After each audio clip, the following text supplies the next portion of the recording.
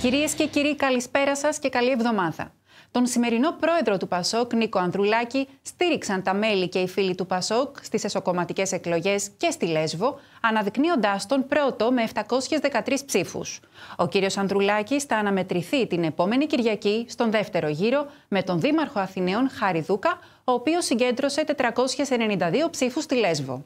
Ο Χάρης Δούκας πέρασε στον δεύτερο γύρο με μικρή διαφορά ψήφων από τον Παύλο Γερουλάνο.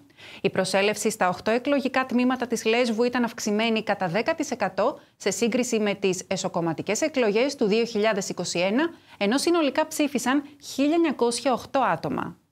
Νικητής του πρώτου γύρου των εκλογών για την Προεδρία του Πασόκ αναδείχθηκε και στη Λέσβο ο Νίκος Ανδρουλάκης, που έλαβε 713 ψήφους, με δεύτερο τον Χάρη Δούκα, που έλαβε 492 ψήφους. Τρίτη η Άννα Διαμαντοπούλου με 329 ψήφους και τέταρτος ο Παύλος Γερουλάνος με 260 ψήφους. Νάντια Γιανακοπούλου και Μιχάλης Κατρίνης έμειναν στην πέμπτη και στην έκτη θέση αντίστοιχα με 53 και 51 ψήφους. Και στη Λέσβο η συμμετοχή ήταν αυξημένη αυξημένη σε σχέση με τις εσωκομματικές εκλογές του 2021 με περίπου 10% μεγαλύτερη προσέλευση, ενώ συνολικά ψήφισαν 1.908 άτομα. Αναλυτικά τα αποτελέσματα ανά εκλογικό κέντρο. Στη Μυτιλίνη ψήφισαν 759 άτομα, βρέθηκαν 2 άκυρα και 4 λευκά. Ο Νίκος Ανδρουλάκης έλαβε 257 ψήφους, ο Παύλος Γερουλάνος 105, η Νάντια Γιανακοπούλου 19, η Άννα Διαμαντοπούλου 152, ο Χάρης Δούκας 197 και ο Μιχάλης Κατρίνης 23. Στο εκλογικό τμήμα της Αγιάσου ψήφισαν 105 άτομα. Ο Νίκος Ανδρουλάκης έλαβε 37 ψήφους. Ο Παύλος Γερουλάνος 7,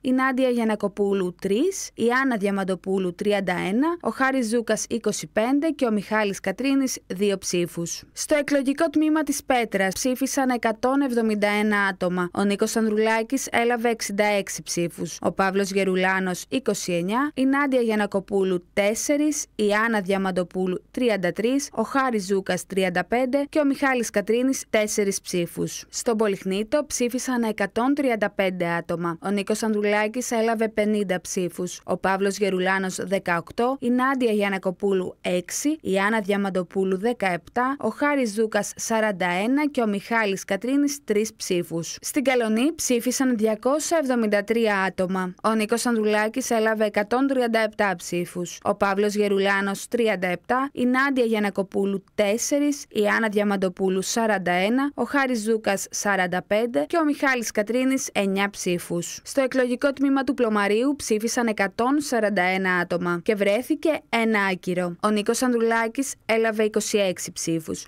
Ο Παύλος Γερουλάνος 28, η Νάντια Γιανακοπούλου 9, η Άννα Διαμαντοπούλου 11, ο Χάρης Ζούκας 63 και ο Μιχάλης Κατρίνης 3. Στη Γέρα ψήφισαν 208 άτομα. Ο Νίκος Ανδρουλάκης έλαβε 102 ψήφους, ο Παύλος Γερουλάνος 22, η Νάντια Γιανακοπούλου 4, η Άννα Διαμαντοπούλου 19, ο Χάρης Ζούκας 56 και ο Μιχάλης Κατρίνης 5 ψήφους. Το 8ο και τελευταίο εκλογικό τμήμα ήταν της Άντισα, όπου ψήφισαν 113 άτομα. Ο Νίκος Ανδρουλάκης έλαβε 38 ψήφους, ο Παύλος Γερουλάνος 14, η Νάντια Γιανακοπούλου 4, η Άννα Διαμαντοπούλου 25, ο Χάρης Δούκας 30 και ο Μιχάλης Κατρίνης 2 ψήφους.